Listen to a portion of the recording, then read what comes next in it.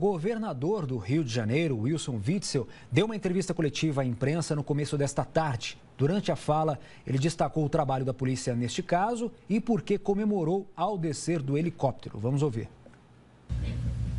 Nossa Polícia Militar mostrou a capacidade técnica, operacional, contou com o apoio da Polícia Rodoviária Federal a todo tempo. Ali é uma área federal.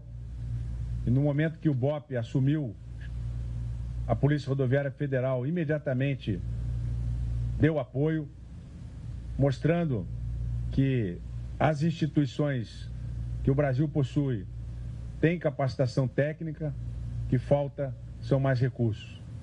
Precisamos de mais policiais rodoviários federais, precisamos prover a nossa polícia com mais capacidade técnica para que nós possamos dar mais proteção à sociedade.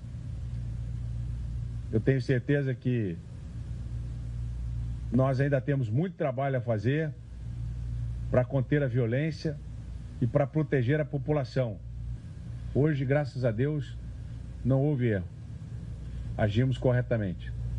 E no momento que eu desci do helicóptero naquele local, a população aplaudiu, não pela morte do criminoso. Bom, antes dessa entrevista coletiva que você acabou de ver, o governador Wilson Witzel chegou de helicóptero ao local e desceu comemorando após receber a notícia de que o sequestrador havia sido morto. Pelo Twitter, Witzel disse que, abre aspas, o ideal era que todos saíssem vivos da operação, mas preferimos salvar os reféns.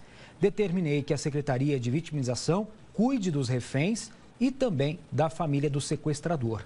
Ainda sobre a atuação exemplar da PM hoje no resgate de reféns, meu papel como governador é criar as condições para que as forças de segurança funcionem, para que o Estado como um todo funcione, garantindo tranquilidade à população.